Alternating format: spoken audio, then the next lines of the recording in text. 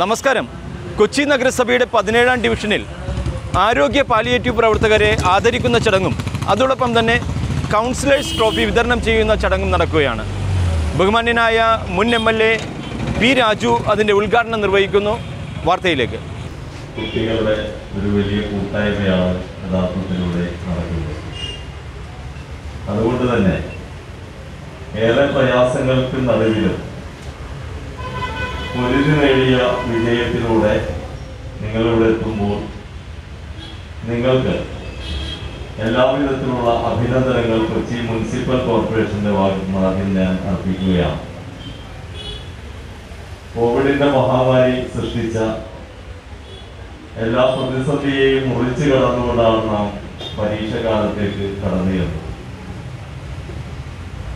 ഇവിടെ നേരത്തെ സൂചിപ്പിച്ചതുപോലെ നമുക്ക് പരിചിതമല്ലാത്ത ഒരു വിദ്യാഭ്യാസ രീതിയിലൂടെയാണ് നാം എക്സാം എഴുതിയത്. നിങ്ങളെല്ലാവരും എഴുതിയത്. ഓൺലൈൻ പഠനം. ഓൺലൈൻ പഠനം സാധ്യമാകുമോ എന്നുള്ളതായിരുന്നു ആദ്യത്തെ ചർച്ച. പക്ഷെ മലയാളി അത് സാധ്യമാണ് എന്ന് ആദ്യം തെളിയിച്ചു. വിദ്യാർത്ഥി വിദ്യാർത്ഥികളെ സഹോദരി സഹോദരന്മാരെ നമ്മുടെ നാട്ടിലെമ്പാടും കഴിഞ്ഞ കുറേ വർഷങ്ങളായി നടന്നു വരുന്നതാണ്. വിദ്യാഭ്യാസ രംഗത്തെ പ്രവർത്തകരെ പ്രോത്സാഹിപ്പിക്കുകയും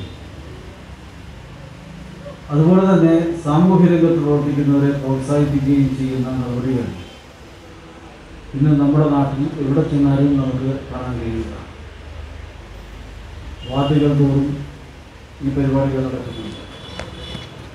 കോർപ്പറേഷൻ അടിസ്ഥാനത്തിലും പഞ്ചായത്ത് അടിസ്ഥാനത്തിലും മുനിസിപ്പാലിറ്റി അടിസ്ഥാനത്തിലും പരിപാടികൾ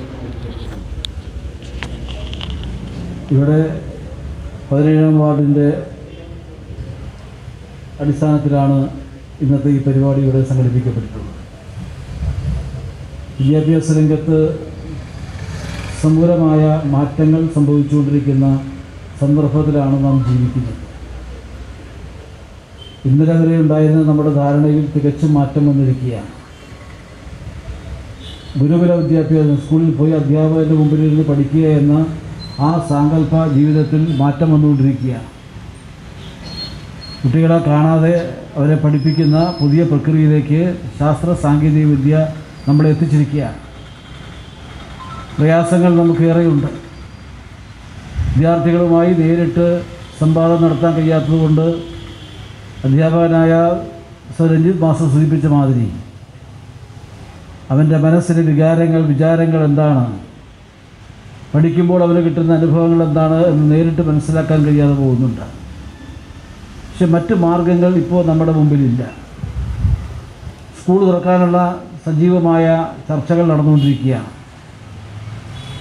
ഇന്നലെ മുഖ്യമന്ത്രിയുടെ സാന്നിധ്യത്തിൽ നടന്ന ആരോഗ്യ പ്രവർത്തകരുടെ യോഗത്തിൽ ലോകത്തിലെ മൂന്ന് വിദേശ രാജ്യങ്ങളിൽ നിന്ന് ഡോക്ടർമാർ പങ്കെടുത്തിരുന്നു അവരുടെ എല്ലാ അഭിപ്രായത്തിൽ കോവിഡ് രോഗം വരുന്നു എന്ന് പറഞ്ഞ് ഭീഷണിപ്പെട്ട് പേടിച്ച് പുറകോട്ട് പോകാനല്ല അതും നമ്മുടെ ജീവിതത്തിന്റെ ഭാഗമായി തീരാൻ പോവുകയാണ്. ഇപ്പോ ഞാൻ കൗൺസിലർ നിലയ്ക്ക് ഈ ഡിവിഷനിലെ മൊത്തം കുട്ടികളെ. ഞാൻ ആദരിക്കുക കാരണം കുട്ടികൾ എനിക്ക് ജീവനാണ് എന്നും എന്നെ ഞാനാക്കിയത് കുട്ടികളാണ് അവിടെ അവരെന്റെ ജീവിതത്തിന്റെ അവിഭാജ്യമായ ഘടകമാണ്. അവർക്ക് വേണ്ടി ക്ലാസ് എടുക്കുമ്പോൾ എനിക്ക് ക്ഷീണം തോന്നാൻ